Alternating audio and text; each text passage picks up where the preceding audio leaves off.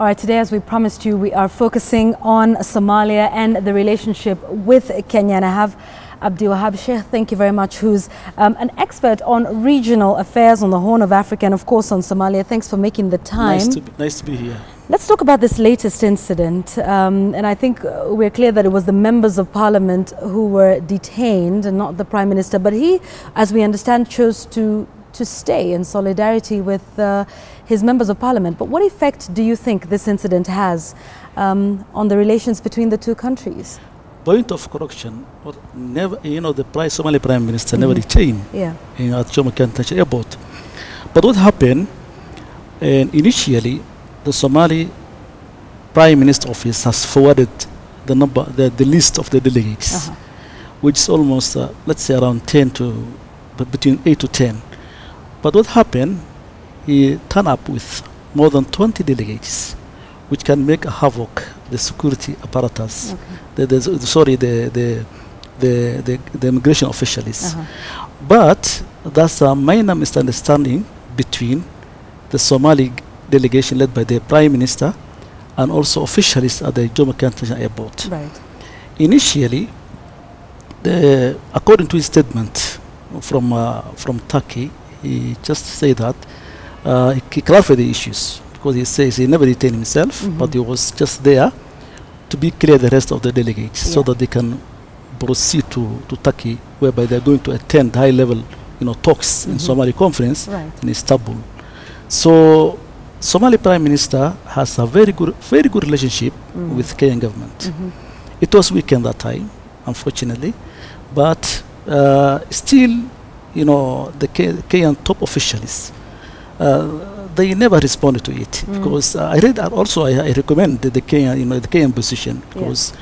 not uh, you know not not not not, not in fact uh, you know the issue is not important but equally it's important to to downplay the issue because to right. to uh, at least you know to diffuse the, the tension between the neighbor states. Absolutely, and Kenya is yet to respond, um, or at least we've not heard of the response from, uh, you know, the Kenyan Foreign Affairs Ministry.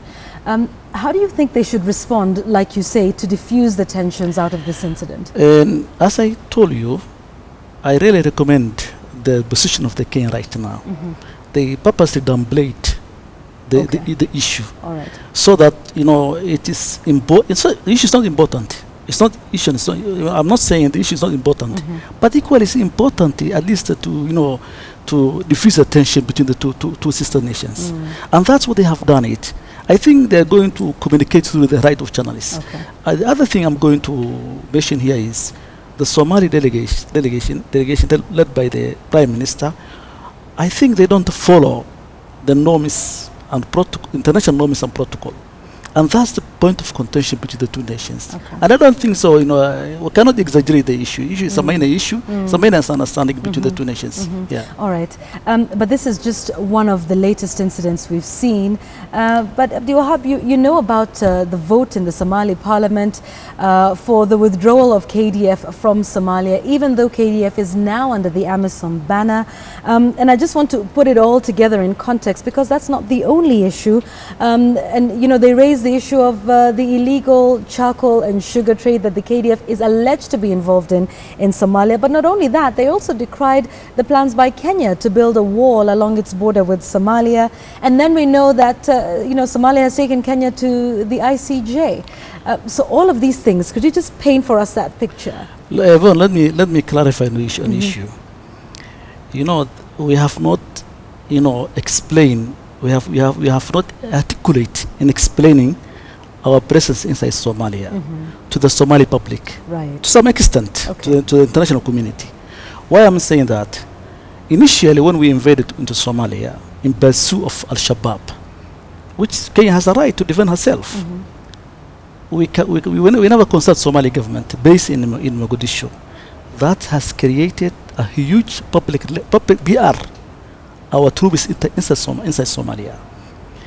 Equally, the Somali public failed to differentiate between the, the moment of invasion Uh-huh. and the moment AU accepted as a peacekeepers. So the problem is we have to restructure our foreign policy towards Somalia. Why I'm saying that? You know, it's the, som- the foreign policy. You know, we cannot. You, you, can, you can choose your, your, your, your friend, Mm. your friend, Mhm. but you cannot choose your, your, your neighbor. That's true. Somalia will be will be our neighbor forever. yeah. No question about Yeah. that. But it is up to the Kenyan Foreign Ministry to come up a comprehensive foreign policy toward Somalia, Right. and we can we have we must have an exit strategy. Also, we ca- uh, the sooner we the sooner we have exit strategy, the better, because we cannot also stay Somalia forever as well. Forever. Yeah, that's right. Okay. Um, and it's an interesting point you mentioned about winning the hearts and minds um, of the Somalis, uh, you know, in Somalia to say we are here on mission XYZ. Um, and that's an interesting point uh, you bring out about um, whether all of this is done at a high level, but, you know, not enough information trickling down to the people. No, uh, what basically, Mm. when we invade into Somalia, Mhm. It is up to the Kenyan government to explain to the Somali public. Right. We are here to assist you guys. Mhm. We are not the invaders. Before so, Kenya invaded into, into Kismayo, Kismayo was total, under, total control under, under, under, under Al Shabaab. Yes. Today, there is a business is booming. You know, the normalcy returned to Jub- Jubaland region, and that they have done a good job. So, but that good job itself, you have to explain to people themselves, Mhm. people on the, on the ground, Mhm. so that you, you can you can gain the hearts and the minds of the people. That's why there's a huge misunderstanding between the Kenyan foreign policy of Somalia and the Somali public. Uh, for instance, uh, let's come back to the issue of the of, of the airport. I'm a Kenyan. If Mhm. I go to, the, to, to Somalia, Yeah. I'm not seeking a you know visa application from the Yeah. embassy. I'll go to Mogadishu. On arrival, I will get the, my visa, and that's a good step. That's a good. You know, our government must improve our relation with so, with Somalia. A lot of so, Kenyan expertise, as we speak right now, Yeah. there is a Somalia. Right. Some of them they work with the UN, Yes. others they work with AMISOM, others they work with uh, international NGO, NGOs. So, and in fact, it's very important that our, our government to have a good relation with our neighbor. Otherwise, if you fail to do so, then what will, what will be the repercussions?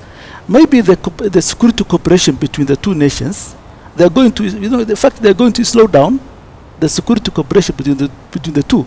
And also, you, ha- you, you have to also know that we have thousands of troops inside Somalia, right, Yeah. as we speak right now. Right.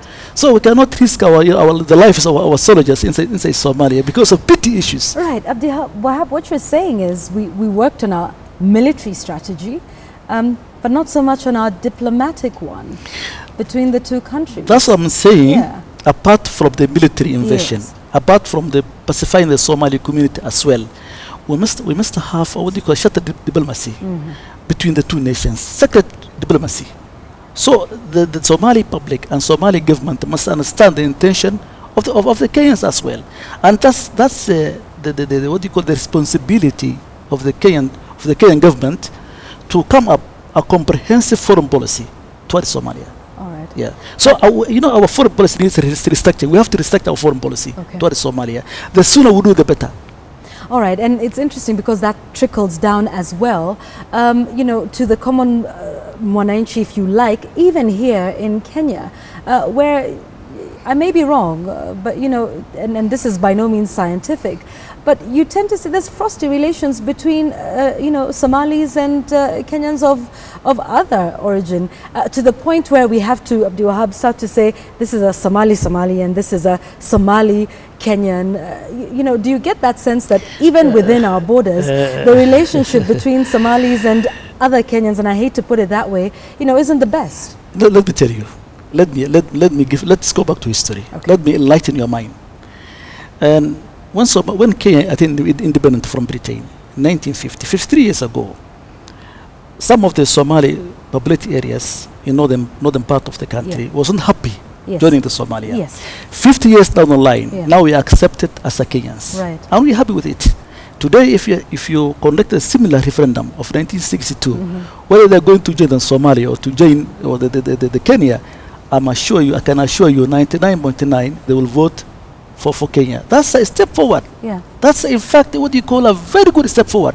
Are we reversing the same step right now? Uh, the question I'm going to ask our my government, they have to think about the, the, those, issues, those issues. Again, the since the devolution, in fact, it was introduced in Kenya just Yes. uh, four years ago. Mhm. Hopefully, now there is a lot of you know what you call uh, you know the delivery services in the northern part of, of, of the country. Right now, there's a what you call a county government in northern Kenya, whereby they're going to deliver the services, uh, not from the center, cent- not from the Nairobi, but at, at, at county level. That itself has improved the lives of the Somali community. As we speak, the Somali community and the, the, the, the, the rest of the Kenyans, I think now they are coming to understand each other. They are much, much better than before. That one I can, you can take to the bank. Okay, all right, Yes. and I like that. It's a it's a spirit of hope. What can we do much more? Um, because you're saying we're definitely not where we were at independence, um, but then you know still the war on terror has created uh, you know some divisions And uh, let- let you me- know, the- the even let me- even let me- which is unnecessary. but yeah, how do we Let, start let, work let me let me correct you, Yvonne. You know, the the war on terror is a global. You know, terrorism is a global issue. So it's not it's not it's not only for the for Kenyan baby. Yeah. That one issue. The other issue is uh, this, this Kenya. We, we we are nation, we are a state, but still we are broke, we're bro- broken nation. Still we are building the nation from the from the grassroots. So we can build our nation. It will take some time to build the nation. Before 1963, there's no what called Kenya. Kenya was created by the, by, the, by the British with different 42 tribes. So to understand each other, it will take time. It's not overnight. It will take time.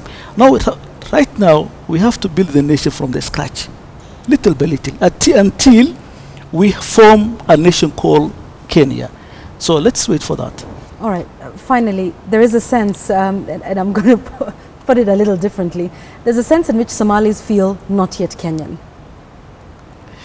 I agree.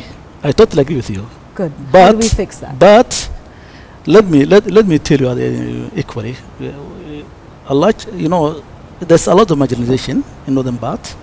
If you look at 53 years down the line, if you go to Wajir, Garissa, Mandera, Marsabit, Moyale, and those areas, which constitute almost 53% of total land mass of Kenya, if you look at the how the development takes place, you cannot compare the rest of Kenyans. And that itself has created what you call uh, some, some kind of uh, disappointment Right. from the central government. Naturally, yeah. But the government now they're working on it to overcome th- those problems. That's what I'm saying. You can build, you cannot build. Rome was not built in a day. You cannot build a nation in a span of less than 50 years. 50 years. But it will take maybe 100 years to build a, beautiful nation called Kenya. Okay, all right. Yes. I like that. A very spirit of hope, Yeah. but also talking about strengthening the diplomatic ties between the two countries. That's also. Let me go back to these issues. Yeah. It is the best interest of Kenya Mhm. to have a good relationship with Somalia. Equally, it's the best interest of Somalis to have a good relationship with Kenya. Okay. So it's up to the two nations to harmonize the views. All right, to, to see how that would happen. Thank you very much for that and for your insights you. today, Abdul Wahab Sheikh, who is an expert on matters within the Horn of Africa, talking to us about this diplomatic spat that is brewing between Kenya and Somalia. We hope to see that resolved soon amongst the other issues between the two. He talks about strengthening the diplomatic ties and the interests of both nations. Here at Bottomline East Africa, we'll be keenly watching those events.